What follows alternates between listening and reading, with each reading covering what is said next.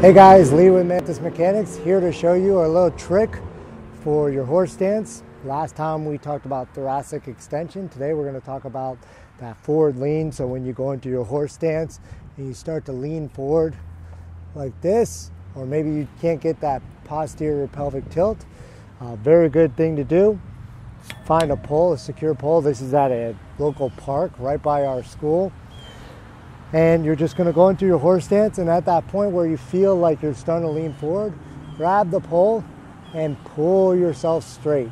So if you can see this if i'm leaning forward in my horse stance a little bit and grab that pole and use it to pull my legs straight creating the external rotation in my legs and also creating that posterior pelvic tilt keeping my back straight instead of leaning like this.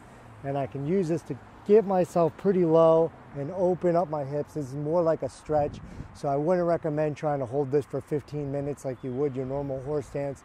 Maybe only do this for 30 seconds to a minute and maybe three or four sets. So do this, stretch out those hips, keep your back straight. One thing that you do have to watch out for when you do this is that you're holding onto the pole and this ends up internally rotating your shoulders. So it's actually better if you stand close to the pole and when you go down, trying to pinch your shoulder blades in the back as you pull so that you keep that thoracic extension and you're not rolling your shoulders forward like this. You can see the difference in my back when I do that. Uh, try this out. Let me know what you think in the comments below and we'll see you next time.